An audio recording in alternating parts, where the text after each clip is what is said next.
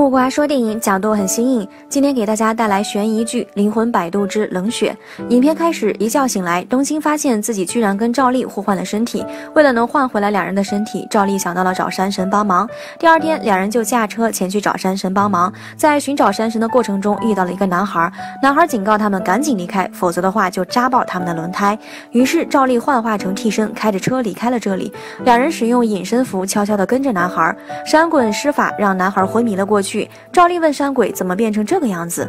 原来仁义肆意开山采矿，山神得不到原有的供养，如今已至油尽灯枯的地步，只求两人能答应帮助男孩找到他在矿难中下落不明的父亲。如今十年已经过去了，但男孩的父亲一直没有回来。男孩每天都在祈祷着得到山神的帮助。山神耗尽最后的灵气，帮助两人换回了身体。两人将男孩带到附近的旅馆居住。深夜，赵丽看到一个浑身是霜的鬼魂站在男孩的身边。经过了解，才知道这个鬼魂就是十年前男孩失踪的父亲。但赵丽却认为死于矿下不应该是冻着的状态。赵丽赶紧查了他的资料，发现根本无迹可寻。赵丽确信这个鬼魂的尸体还在人间保存着，要不然的话早就查到信息了。第二天醒来，男孩趁他们熟睡，趁机溜走了。之后，两人开车来到男孩的家里，却被霸道的妈妈给撵了出去。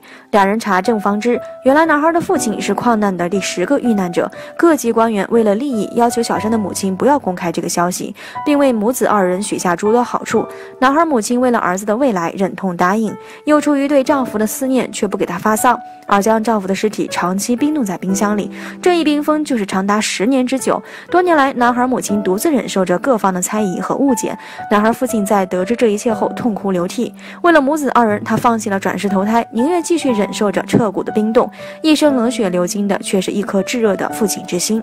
故事结束，父爱如山，母爱如海，然而父爱又是苦涩难懂、忧郁而不可及的，真是可怜天下父母心。点赞加关注，看电影不迷路，下期不见不散。